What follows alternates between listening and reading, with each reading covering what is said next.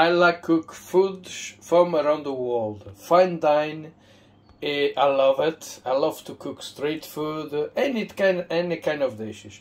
Just right now, I finished done a delicious fine dine with a corn-fed chicken breast. Uh, underneath, we got some uh, potato, avocado, tender steamed broccoli, uh, in a creamy uh, garlic sauce. Eh? Look at that. Eh?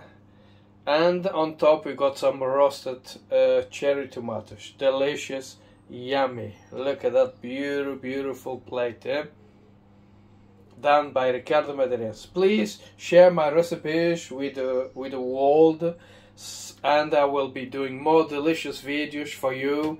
Uh, I got all my recipes on my YouTube channel, TikTok and Facebook. Please check it out. Thank you.